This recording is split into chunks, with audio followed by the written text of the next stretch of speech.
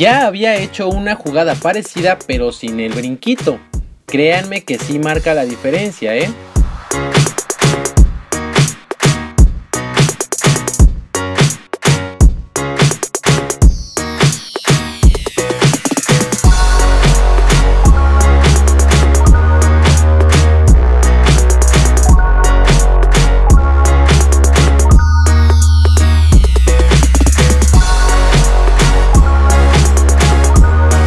Paso 1.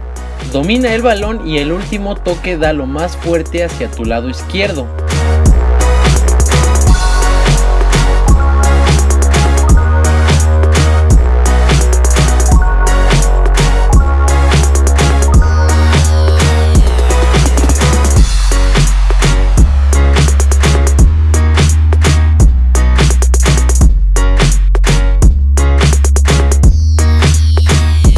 Paso 2.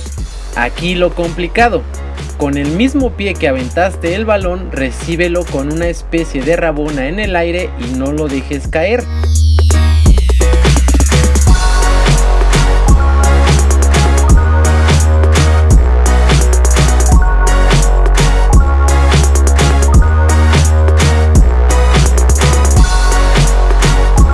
El resultado es una jugada que se ve sencilla, pero al momento de darle el toque por atrás, necesitas de fuerza con la pierna para que salga correctamente.